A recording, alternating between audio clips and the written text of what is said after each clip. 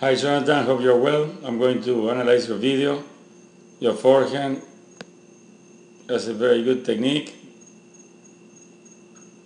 Very well here, but this part here, where your elbow is a little bit low, okay? So if you can see now, when you hit the ball, you hit more with your, yeah, with your forearm than with the full arm. Okay, when your forearm is working harder. You see? And then stay stay low the elbow. Okay? So I, I suggest that you finish a little bit higher and I think that it will look better, you see? That is where the elbow goes higher. Yeah, I think that you have more, you go more into the ball and you will have more power of course, it's something that you have to work on because probably you were hitting many years in this way.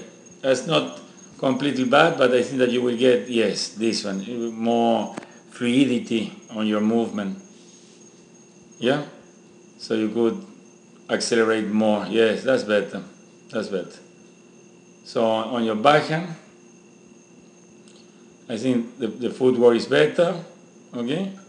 I will still insisting in that you could pass the left foot in front and then you can do your crossover to be faster on your work, on your footwork and also try to use your left hand sorry, try to use your left hand as uh, to balance the body so open both arms that will help yes. Okay? That will give you more more stability. Yeah good. Very good very good footwork. Okay? Hope to see you again soon and we can still working on, uh, on your technique attack your strategy. Okay? Thank you very much and have a happy new year for you. Thank you